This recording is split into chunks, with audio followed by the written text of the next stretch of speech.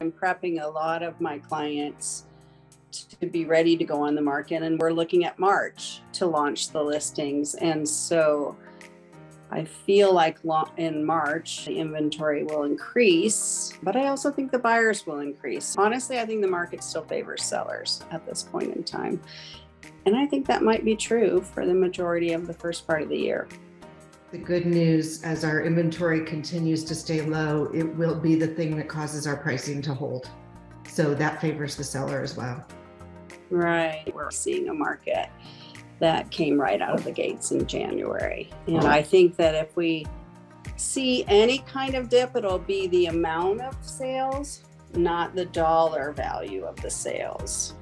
Because with such low inventory, we can't have a high quantity of homes selling.